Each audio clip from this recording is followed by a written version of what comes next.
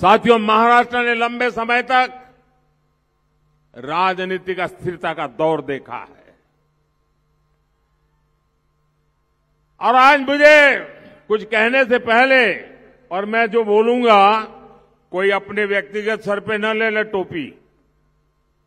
लेकिन हमारे यहाँ कहते हैं कि कुछ भटकती आत्माएँ होती है। जिनकी इच्छाएँ पूरी नहीं होती, जिनके सपने अधूरे रह जाते हैं, वो आत्माएँ भटकती रहती हैं।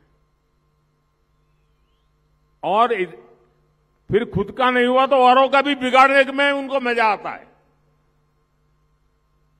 हमारा महाराष्ट्र भी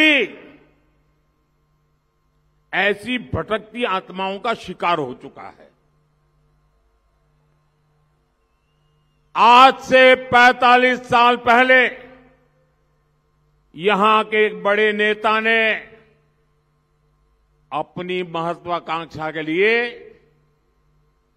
इस खेल की शुरुआत की।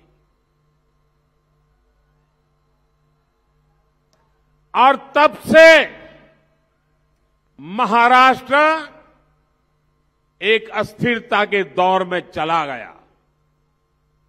और कई मुख्यमंत्री अपना कार्यकाल भी पूरा नहीं कर पाए।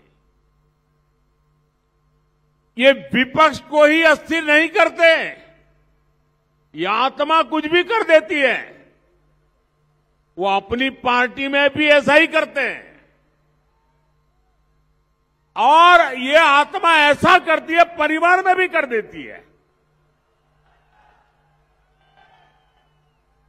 1995 में जब बीजेपी शिवसेना की सरकार आई तो भी आत्मा उस सरकार को अस्थिर करने के काम में लग गई।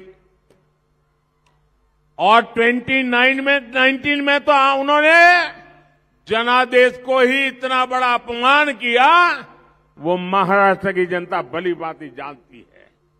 और आज सिर्फ़ महाराष्ट्र को अस्थिर करना ही आत्मा को संतोष नहीं होता है। देश में अस्थिरता पैदा करने का खेल चल रहा है। आज भारत को ऐसी भटकती आत्माओं से बचा करके देश में एक स्थिर, मज़बूत सरकार की तरफ़ आगे बढ़ना बहुत ज़रूरी है दोस्तों। और मैं तो चाहूँगा महाराष्ट्र में जो ये महायुति है हमारी। वो मजबूती के साथ ऐसे आगे बढ़े, ऐसे आगे बढ़े कि पिछले पच्चीस तीस साल की जो कमियाँ रही हैं, वो सारी कमियाँ पूर्ण करके विकसित भारत के सपने को ड्राइविंग इंजन देने का काम करे। सिंधे जी, देवेंद्र जी और अजीत जी के नेतृत्व में। साथियों, बीजेपी, एनडीए सरकार महाराष्ट्र को विकास की नई ऊंचाई पर ले जाने के लिए काम कर रही